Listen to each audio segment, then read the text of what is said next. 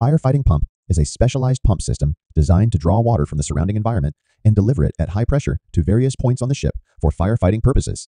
These pumps are strategically placed to cover different areas of the vessel, ensuring rapid response in case of a fire emergency.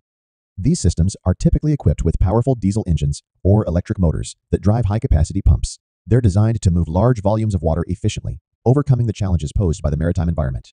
Inside the pump, you'll find components like impellers, casings, suction, and discharge valves.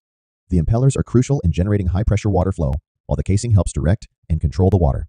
Suction and discharge valves regulate the flow and prevent backflow, ensuring the pump operates smoothly and effectively.